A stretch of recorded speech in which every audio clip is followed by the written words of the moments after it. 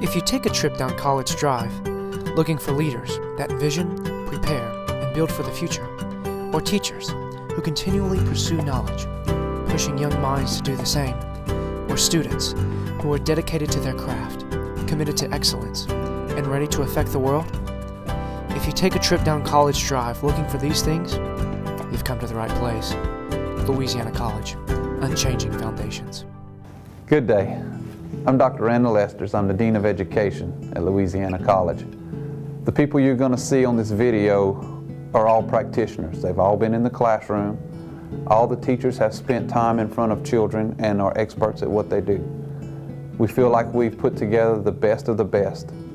The teachers that you will see on this video have experienced what they're talking about. And we hope that you enjoy and learn a little bit from it.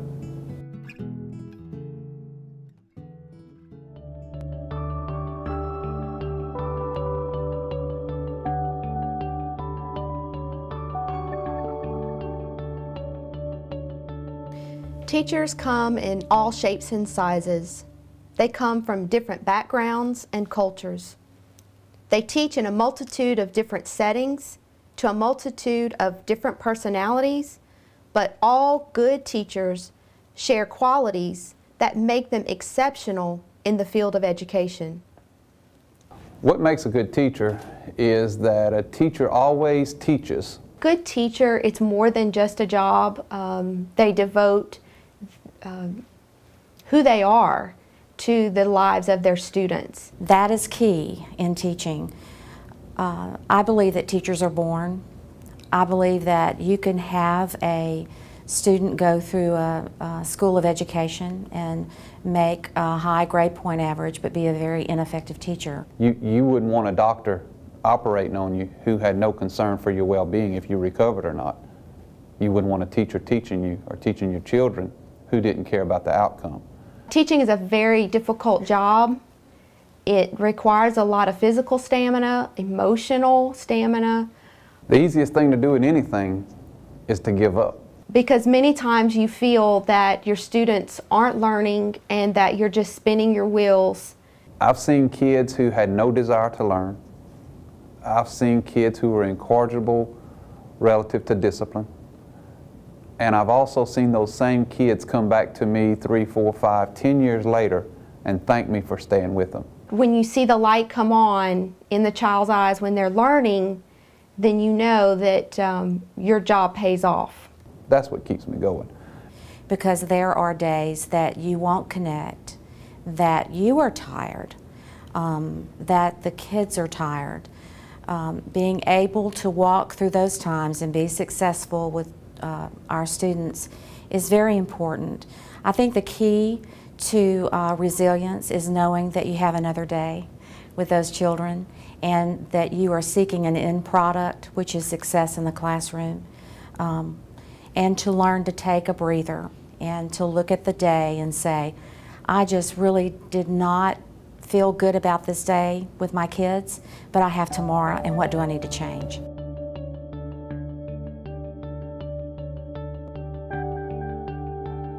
Confidence.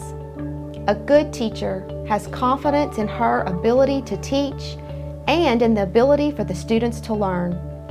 Knowing your content and being well planned helps build this confidence. Also, setting high expectations for your students will give them confidence to learn.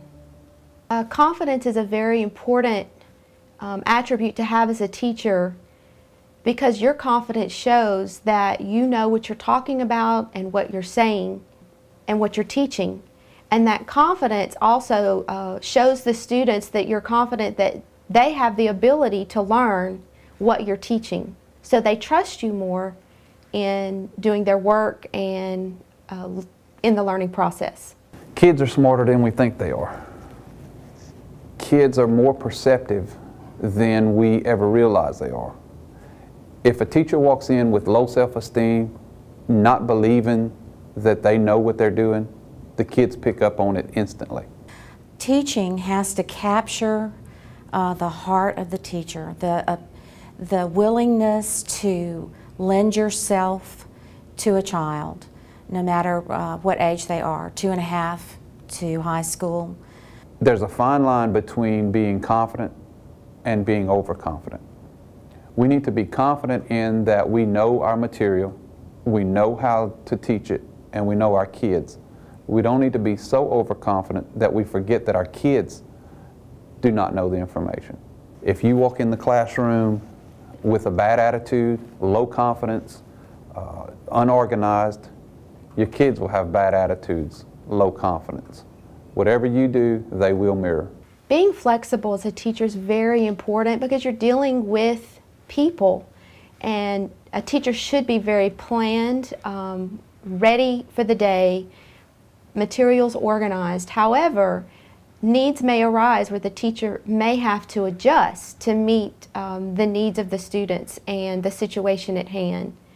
Uh, we always have to remember that we're, we're teaching people and we're not um, teaching material, we're teaching the material to the student. Humor can make students feel comfortable and diffuse a stressful situation. Laughter and smiles create a positive learning environment. A sense of humor in the classroom um, is just as important as confidence. Well, a sense of humor is very important in the classroom. First of all, it shows that you're enjoying your job and that uh, teaching and learning can be fun, and it should be fun. A sense of humor also um, relaxes your students. Because you are with students seven to eight hours a day in an elementary setting, typically you're with those students more often than their parents are. It can also help um, with the behavior of the students because it, um, it causes them to relax and enjoy the environment. And we all know, if you're a parent, there are times that we look like idiots in front of our children, and our kids do funny things, and the ability to laugh together as a family is key. I go, yes, I have a jar in my office, and I go around randomly sprinkling it on kids' heads. An effective educator is one that looks at their classroom as um, a family. And um, whether the educator is female or male, they need to assume the role of parent and they'll be an effective educator. Organization. A good teacher is very organized. The classroom is a learning environment. The classroom materials should be easy to get to and distribute to save time during the lessons. Anything worth doing is worth doing properly. Teachers have a tendency, once they've been in the classroom for many years, to think that they can walk in a classroom unprepared and get the job done. It's very important for a teacher to be organized because it helps with your time management and with the behavior of the classroom. The students know if the teacher is not ready for the day and if the teacher does not have good classroom management, the students tend to take control of that.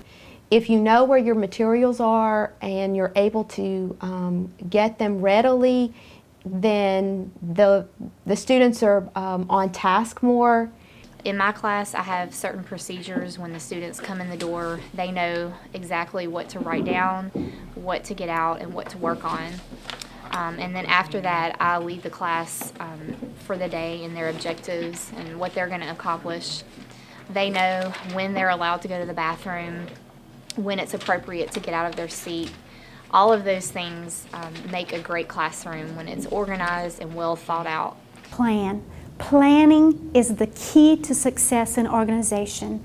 When you have your classroom planned in such a way that you know where everything is, everything that you have in the classroom that you're going to need is in a place where you know you put it, then it saves time, it cuts down on the downtime, and then it gives you more time to focus on the learning strategies.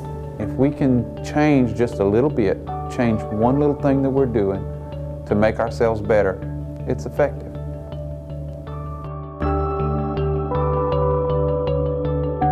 If you were to paint a picture of a teacher, um, I think the artist would render a heart